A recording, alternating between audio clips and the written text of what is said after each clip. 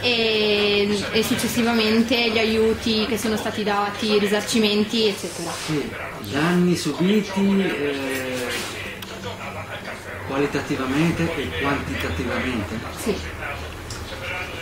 Dunque, quantitativamente sono stati molto rilevanti, nel senso che eh, avendo avuto un, più o meno tanta acqua fino a questa altezza, e, e tutto ciò che è inerente al materiale elettrico, cioè eh, piccoli elettrodomestici, cavi, lampade, file, c'era di tutto insomma.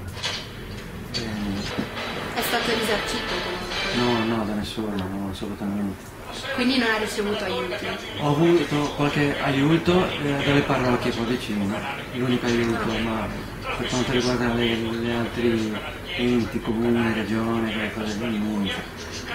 Qualcosina qua da- dalle parrocchie mm, di Marassi.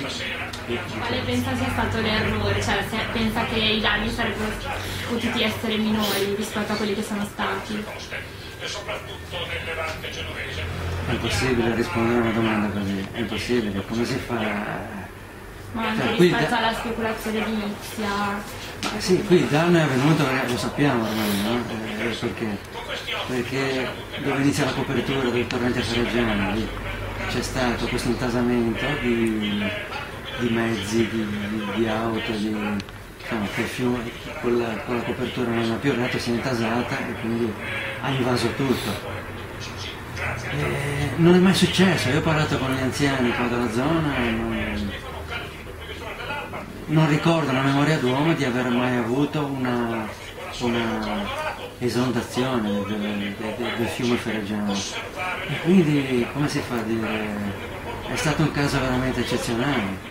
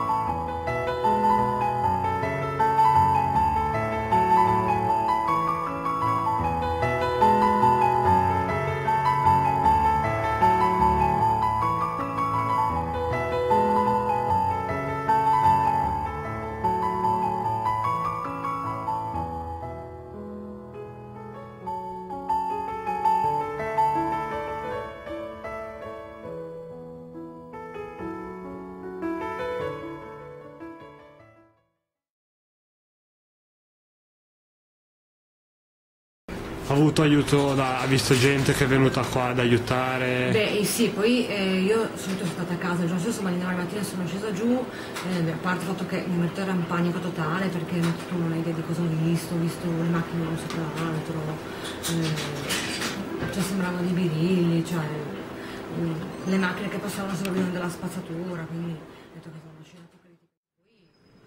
tanta assistenza da parte della protezione civile, dell'esercito e anche tantissimi ragazzi che non erano niente di tutto questo, lo facevano soltanto per solidarietà. Nonostante ancora adesso ci sia una situazione comunque di disagio, quanto tempo ci è voluto per ritornare alla normalità?